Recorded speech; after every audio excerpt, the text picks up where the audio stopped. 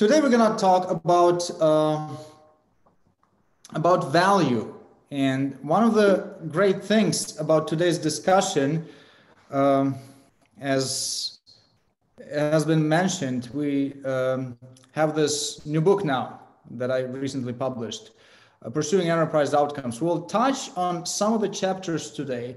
We'll talk about value, we'll talk about um, outcomes, and we'll try to ground ourselves in a better understanding of contextual value in your particular environment. Almost every enterprise needs to understand what to build and what to focus their attention on, and what actually can be delayed or delivered later or not delivered at all necessarily. So really crucial notions. And it's important not only to high profile stakeholders, but also to those team members and practitioners that are directly involved in uh, creating value. So we'll talk about that today.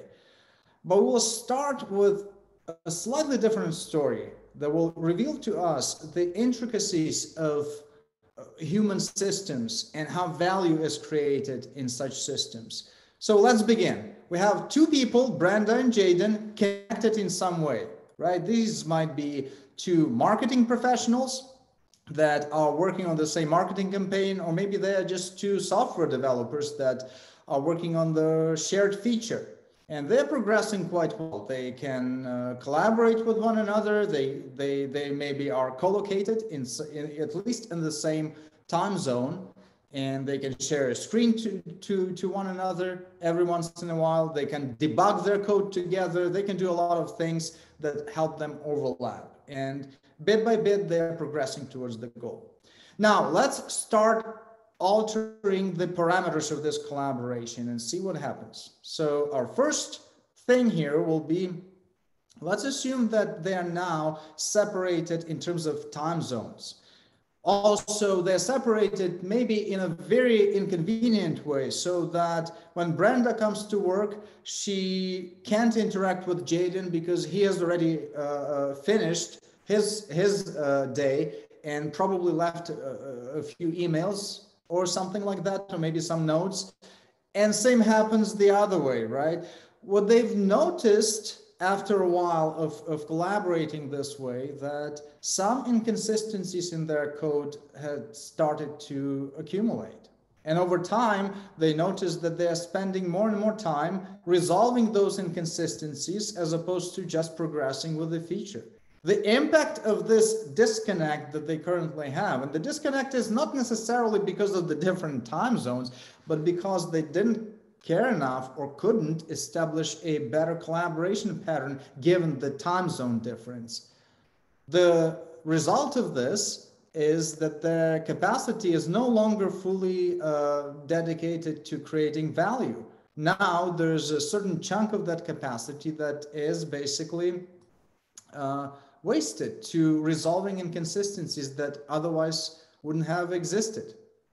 Uh, let's keep changing the parameters though. And let's assume that besides the time zone issue, they also developed a personal conflict. Maybe Jaden said some nasty things about Brenda's approach to uh, programming uh, non-serializable objects in the past, and now it's on. Now they are not communicating even via the email when they could, but they don't want to, unless highly necessary.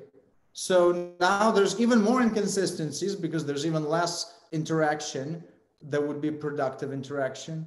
So our picture changes even further. Now, even more capacity is wasted to resolving the disconnect.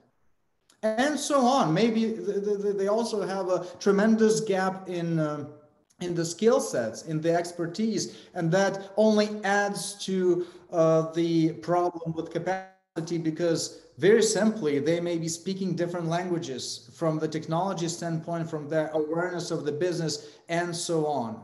So, see, we often assume that if we have a team or a bunch of people collaborating, we're forgetting that it's a complex system. And as every complex system, the most important thing is the connections, the crucial connections that make the system work and make it productive.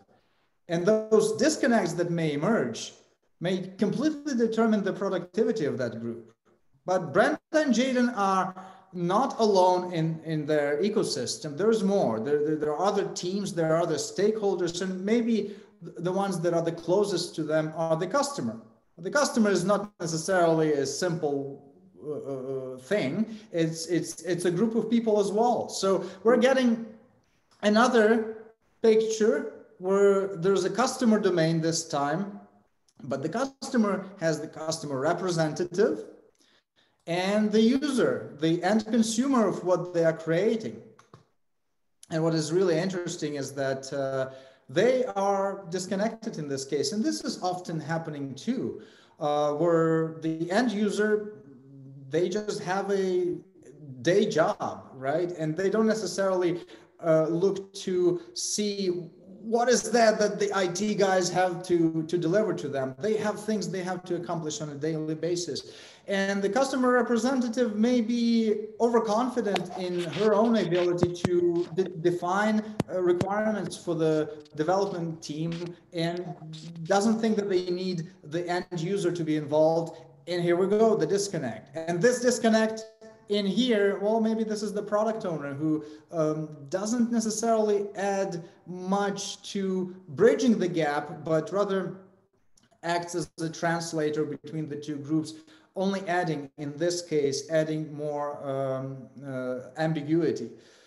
So here's what's interesting. As soon as we get more than one disconnect in the system, these disconnects may start uh, reinforcing one another. And this is how it may happen in this example. So imagine that the customer representative um, produces some requirements in whatever the manner, right? Either in traditional way or in more of a lean and agile way, but they do so. The problem is that they are disconnected from the user. So whatever they sent over to the team is not necessarily the right requirements and not necessarily is something reflective of the end user need. So they send it over to these guys, but remember, these guys are disconnected too. So the implementation that they provide is not exactly the correct implementation of what they've been asked to build. Ultimately, they send it, basically deliver it to the consumer, to the end user. But the end user looking at that says, oh my goodness, what is it? I don't like this at all. What is it? But then the customer representative says, hold on a second let me take a look. And she looks at it and realizes that it's not the right implementation.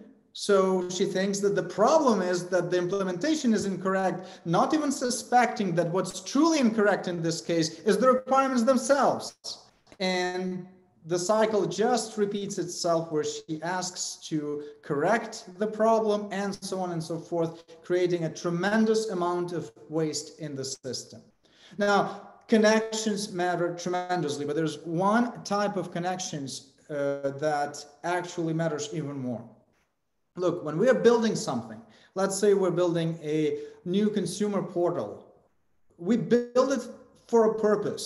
In this case, to get improved self-service for appointment scheduling. Or when we go and, and go ahead and build a navigation system upgrade, that is to ensure improved navigation in limited visibility in this case. Or when we try to create a new neural network learning algorithm, that is to provide a better support for mission control decisions. Or if we go, for instance, with a new customer service repository, that's to uh, improve the customer service and so on. So you see the pattern here, right? We have something on the left, which is the asset or the output of our effort, and we have something on the right, which is the outcome. The asset or the output is a thing, and that thing in and of itself, it's hard to even say when it's valuable, when it's not valuable, unless the outcome is fulfilled. And the outcome is not a thing, it's usually some kind of human behavior that we're trying to enable. So this is really key because if we have a disconnect here, then none of it matters. All of our capacity is wasted because we built the wrong thing. We built something that doesn't even matter to the customer. And the reality is such that we, we don't necessarily are in that binary case where we have either everything great or everything uh, ditched by the customer, right? It's a spectrum. But oftentimes we don't pay enough attention to what is happening to those things, to those feature sets that we uh, uh, so hardly work to deliver. Are they meeting the need for the uh, customer? Are they helping the customer? That's what we're going to talk about today. And first, we start, we're going to start with an important construct that will help us to better orient ourselves towards um, towards outcomes. So let's pick that last example, customer service uh, repository. If we're building it, the first question that we want to ask ourselves is, okay, we're building it. We're building it so as to what, right? Okay, so we do this so as to help the CSR, the customer service representative, be able to find answers faster. That's why that customer service repository um, is in the first place. But let's not stop here we continue to ask the same question. So as to what? Well, this is so as to the customer would get their issues resolved faster. And even that is not it, but also like to have more customers served as a result and so on. Maybe this goes all the way to maybe to the financial indicators that matter to that organization. This is what we call outcome chain. It starts with the outputs, but then has outcomes of the immediate outcome first and then the high order outcomes that uh, provide the right context for our work. And this is important because we may have disconnects anywhere on the chain. For instance, here. It may be that we've enabled the CSRs to be to, to find answers faster, but those are wrong answers. So they are still not helping the customer here with wrong answers, but they are fast, right? So that's why the, the, the full outcome chain matters. So maybe the disconnect is here because, yeah, they're helping the customer, but they're solving the symptoms of the problem that the customer has rather than the real problem. And it leads to a collateral outcome, which is negative in this case, uh, low customer satisfaction. And maybe what our learning from this is that our solution is incomplete Maybe what we're missing truly is another component to our solution, which is the issue router and tracker system that would connect CSRs to other professionals within the organization, such as the shipping depart- uh, shipment department, where uh, they would be able to resolve issues in a much more uh, um, effective and expedited manner so that the customers wouldn't even have to come back and, and complain again right? So, and maybe this would resolve that collateral outcome problem and uh, help the, the organization to build an effective solution. But there's more to this. We often ask the question of value, right? And so let's ask that question, maybe in the context of uh, some work that has to be done on that uh, CSR repository. So let's assume we have two large chunks of work one of them is the fuzzy search functionality in that repository, and the other one is content utility insights. And we would like to understand the value of those things to decide which one to work on first. Very simple and totally legitimate request. Let's also assume for the sake of simplicity that they are equally sized uh, chunks of work. And if they are not, we'll just divide whatever we think is the value by the overall size or amount of effort involved. And we're back to that case. So um, as you noticed, I also added the ultimate outcome here, which is some financial indicator. Maybe that's uh, revenue increase as a result of this uh, CSR repository. So ultimately, that's that's what we're getting out of this. Uh, how do we approach the question of determining business value? One temptation, a natural temptation, is to just go ahead and try assigning a dollar sign to next to each of those items. But here's the problem. Look at where the dollar sign is on the outcome chain and how far it is from the actual output, output of work. And that's exactly where the features are implemented.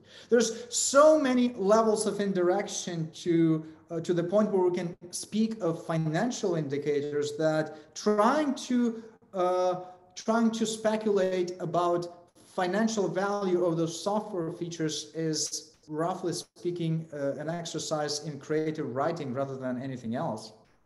So maybe what we should do is a slightly different thing. And let's, for now, limit our consideration to just the first link in this entire whole uh, outcome chain. So what we're going to do is just look at the output and the immediate outcome there. And we will try to unpack this connection unpack in a sense that we're not going to look at, at it as a as a as a wire but rather as a cable that has multiple wires underneath. And that will allow us to uh, basically reveal that important structure onto which we'll be able to um, determine business value. So how this will be done we'll try to define these little wires that we call value paths or the path through which value is being implemented, uh, maybe the product team will get together and uh, they will start discussing these two features and they will figure out that the decision making framework would contain a couple of key value paths by simply asking so how does value manifest itself in this case? And one of the things that would come up with in their particular example is uh, well, uh, this functionality is supposed to improve the inclusion of search results that may otherwise not be included. Uh, also, so this is the first value path that they identified. The second one is better relevance of search results, and that's the second uh, uh, value path. And the third one is better quality of the results returned to the customer, those articles from the CSR repository. Notice that uh, these value paths are highly contextual. These matter to this particular team, to this particular product, but another company, another product, maybe even in the same company, you would have a completely different uh, structure of value path. And this is the power of the method because uh, business value is always contextual. So now what we're going to try to do is we're going to uh, bring over each one of those features to the to the left side of this equation and see how we can assess the relative value of these features um, against these value paths. So the first thing that we're going to do is the identifying the importance scores. The importance scores are very simple con concept. We're asking ourselves basically of uh, how important is each value path to this outcome. Okay, so in other words, how important is inclusion to, to help uh, CSRs to find answers faster? Or how important is relevance of search results to, to help them find answers faster and so on. You got the idea. And let's say after a little bit of discussion, they scored them and this is the result, three, five, and two. And this only means that that one is this much more important than that one to this outcome, okay? So now we're gonna go back to our features and we'll say that, okay, fuzzy search first capability scores this time. We're going to ask our, ourselves, uh, given that those are the important scores, how good is fuzzy search at, at, at supplying at those value paths? And maybe they will say it's five, one, and zero, which means that, for instance, um, fuzzy search has no influence at all over the quality of result, results returned. It may bring in some results that otherwise wouldn't be uh, uh, visible to the to, to, to, the CSR, but they're not going to change the quality of existing results, right? So, so you got the idea. We are reflecting on the capabilities of this specific feature in terms of satisfying uh, the, the outcome in, in question. And all we need to do now is just calculate the total value by multiplying the two scores down each path and adding up the results like so. And we got ourselves the number 20.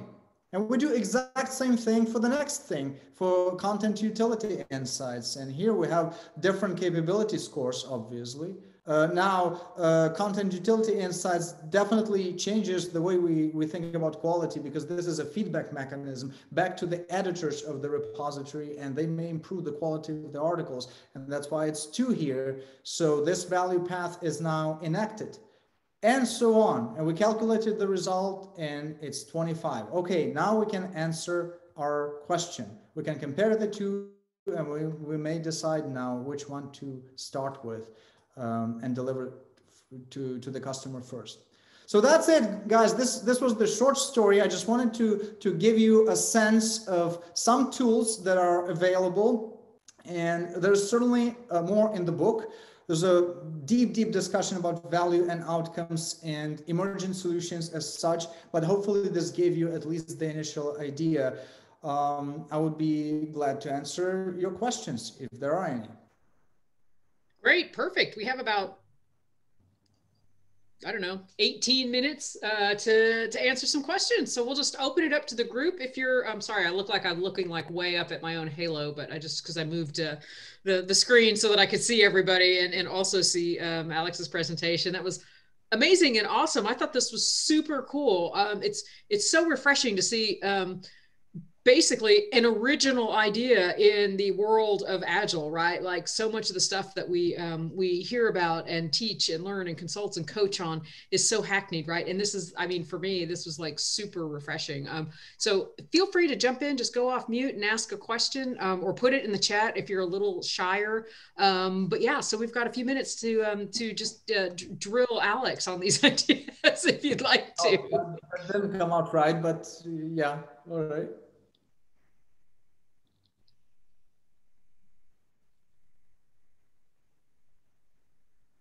So I know most of you have never seen this before, so you, you must have some questions about this.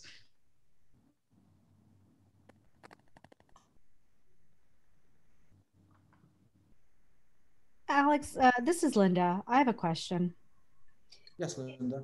So, in terms of, um, in, in your experience, what have you found, or who within, the, let me try to figure the, um, who is good what's a good makeup of individuals to really strategize and and determine you know the value that you you've basically like um, shown in terms of is it the whole team? Is is it the the sponsor the the product owner? And do you believe even the development team the devops team in in in determining the value in the strategy? Okay, good, great question. It, uh, great question because, uh, in part, uh, I I doubt that this question has a simple answer. It's rather a contextual answer. Mm-hmm. And, and the reason for that is um, dependent on factors like, for instance, how enabled is the product owner in that particular environment, right? As, as, as one potential examples.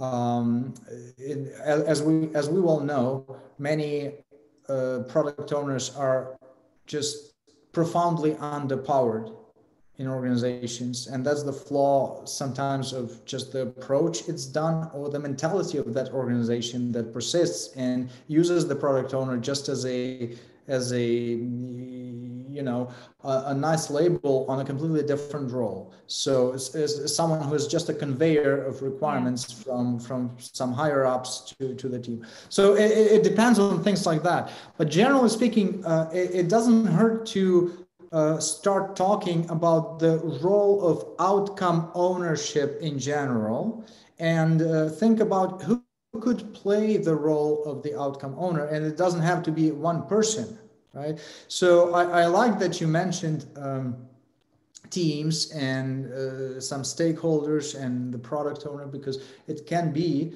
a shared role. Usually i I, I, like to have uh, some representatives